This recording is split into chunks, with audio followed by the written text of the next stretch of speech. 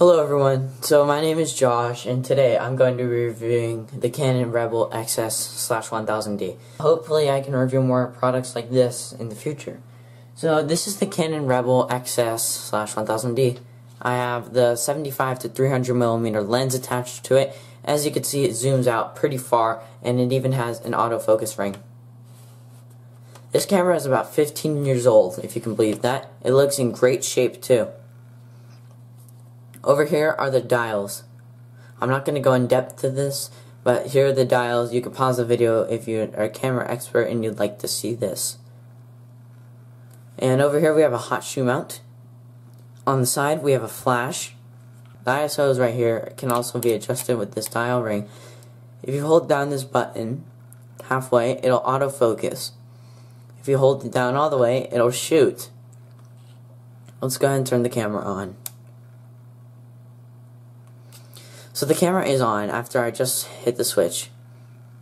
Now, I have it in P mode. Uh, let's go ahead and see what the features are. So, as you can see, I set it to live view mode. If you'd like to see another video of how to do all the settings and stuff, let me know in the comments down below.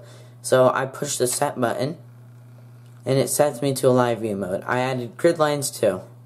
3x3. Now, let's go back. Now for this one, you can change the ISO and everything. Uh, and you can just adjust it with the scroll wheel and stuff. And I'm going to switch it to auto. So, there you go. We even have a viewfinder right here. If you don't want to do it, you could just look through the viewfinder. Or you can push the set button and after you go into settings and it will give you a live preview on the screen. Over here we have the we have the zoom buttons or the auto select. If you're in, not in set mode, you have to be in set mode.